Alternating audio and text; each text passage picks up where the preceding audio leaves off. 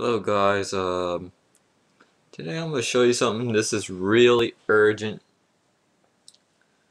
with most problems that a lot of Windows 2000 users are having.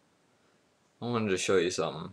Okay, see my computer, my regular machine with Windows 7, it says 834, over here it says 734. And there's a problem in that it's been happening the most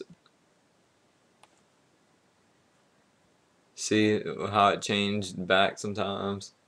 Back to the time an hour back. So I'm going to show you how you fix that. So we're going to go ahead go ahead and launch your, launch your web browser on 2000 and I'm using Windows 2000 Advanced Server and Microsoft Virtual PC 2007 use whatever browser you prefer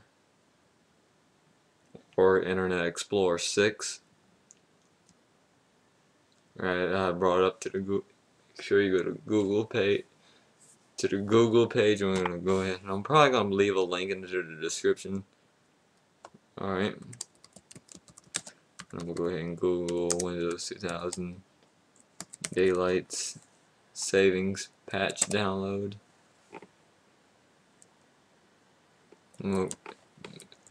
I already typed it in from what it suggested. I'm going to go ahead and click on this link right here. I'm also leave it in the description because I know many users with Windows 2000 are having it and it's been affecting users with like NT 4.0 Windows 2000 Windows Server 2003 and Windows XP Service Pack 2 Windows 2000 and Windows XP Service Pack 2 is on there is going to be unsupported in July 13th 2010 and that time extended support will be starting around for Windows Server 2003 instead of being on mainstream support. I'll find that link. Here it is. You're going to go to the one that says daylight saving fix I'm gonna go ahead and save the file. Put I'm gonna save it.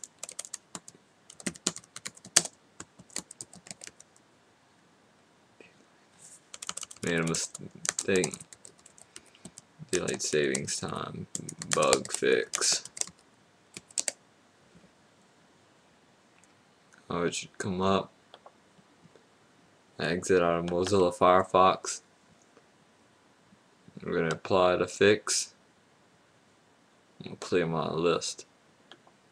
I don't really use Internet Explorer much on here on older operating systems. I'll put like a browser. No, it's finally successfully installed.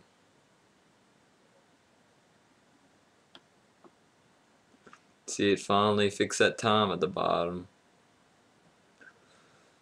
So I hope you, I hope this helped you out. So comment, rate, subscribe. Thanks for watching.